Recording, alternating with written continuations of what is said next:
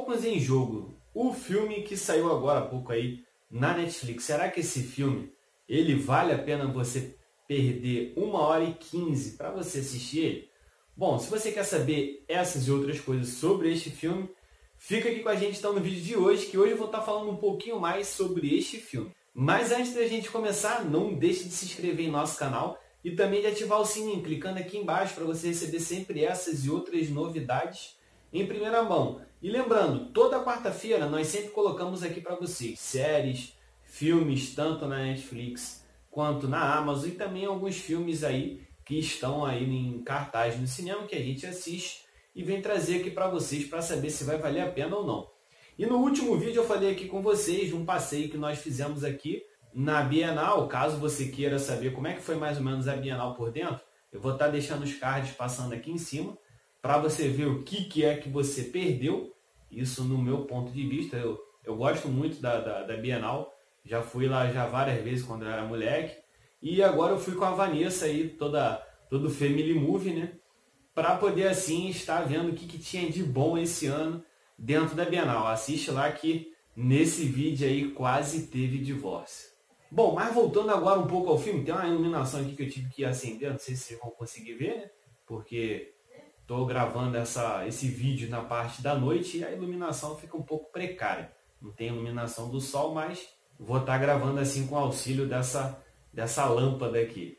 E esse filme, o Falcons em Jogo, ele já de começo assim tem um cara lá que fica lá com violão lá, cantando a parte do filme, o que, que é que vai acontecer. E logo de cara aquele filho da mãe lá acaba dando um spoiler geral lá do filme lá, que maluco, só dando um tiro na, na Netflix para estar tá fazendo um filme assim desse tipo, né?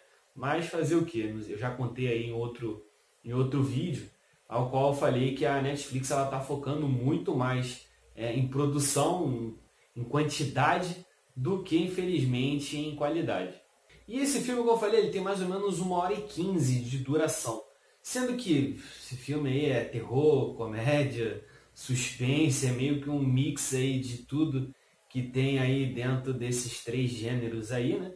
Que você às vezes fica lá doido lá, acho que já teve até um filme parecido mais ou menos com esse segmento que também não ficou muito legal não. Mas assiste aí esse Falcons em jogo aí da, da Netflix para saber se você vai ter a mesma opinião que eu tenho.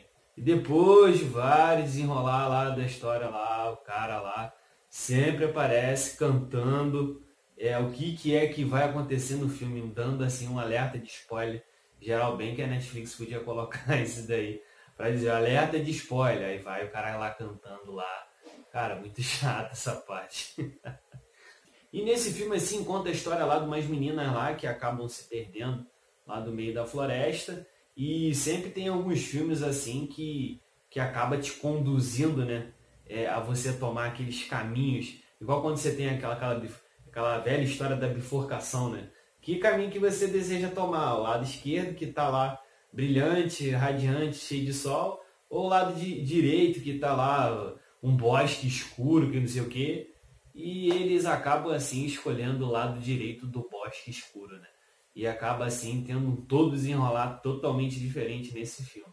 O engraçado é que geralmente nesses tipos assim de, de filme tem sempre uma lésbica aliás, algumas, ou uma, né, lésbica.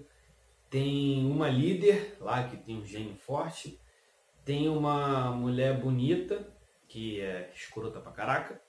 E tem a, a nerdzinha lá, sempre da, da equipe, né? Sempre tem esse grupo nesses gêneros assim, meio doido de, de filme. E tem também a parte lá que começa a parte de terror, que, cara, fica tão escroto que a Netflix acha que ela comprou aí vários e vários caminhões aí de, de groselha, porque o sangue era só groselha, né?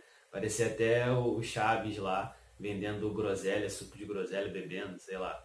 De tão ruim que foi esse filme, cara. E depois de tantas cenas assim, sem pé e sem cabeça, o filme resolve acabar eu dando graças a Deus que o filme acabou, né? Mas e você? Você assistiu o filme Falcons em Jogo? Se você tem uma outra opinião sobre esse filme, deixa aqui embaixo nos comentários do vídeo. Bom, pessoal, por hoje é só. Vou me despedindo e até o próximo vídeo. Valeu!